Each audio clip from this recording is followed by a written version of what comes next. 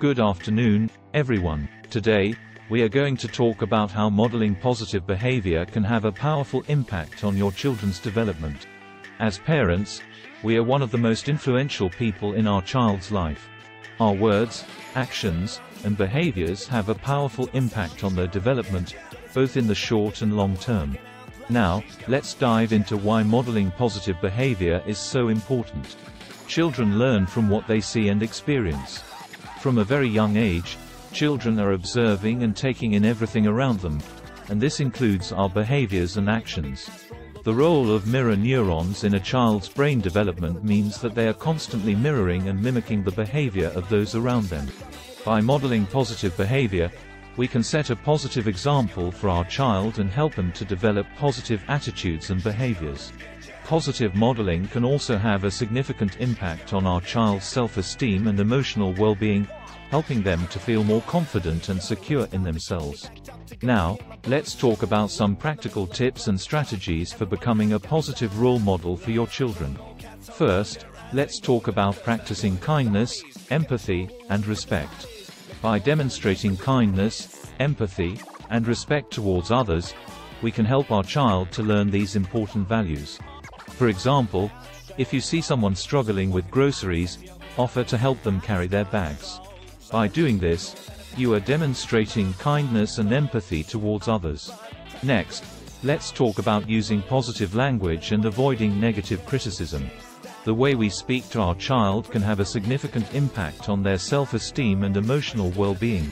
By using positive language and avoiding negative criticism, we can help our child to feel more confident and secure. For example, instead of saying, you're not good at math, say, let's work together to improve your math skills. Another important tip is being mindful of our own emotions and reactions. As parents, it's important to be aware of our own emotions and reactions, as these can impact our child's behavior and emotional well-being. By practicing mindfulness and staying calm in difficult situations, we can help our child to learn these important skills. Showing gratitude and appreciation is also important. By expressing gratitude and appreciation towards others, we can help our child to develop a positive outlook and appreciation for the good things in life. For example, Thank your child for helping you with the dishes, or express gratitude for the beautiful weather.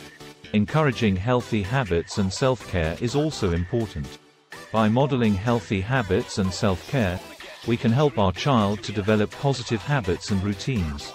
For example, encourage your child to eat healthy foods, exercise regularly, and practice self-care activities such as yoga or meditation. Now, let's talk about some of the challenges of modeling positive behavior. Modeling positive behavior can be challenging, especially during stressful or difficult situations. It's important to be aware of our own emotions and reactions, and to practice self-reflection and self-awareness. Additionally, it's important to be aware of negative patterns or behaviors that we may have learned from our own upbringing, and to work to overcome these patterns. Finally, Let's talk about the importance of communicating with parents. As parents, we all have different parenting styles, but it's important to communicate with other parents to learn from their experiences and perspectives. We can all learn from each other and help each other to become better parents. In conclusion, modeling positive behavior is one of the most effective ways to guide your child towards positive growth and development. By setting a positive example, we can help our child to develop positive attitudes and behaviors, and to feel more confident and secure in themselves. Remember to practice kindness, empathy, and respect, use positive language, be mindful of our own emotions, show gratitude and appreciation, and encourage healthy habits and self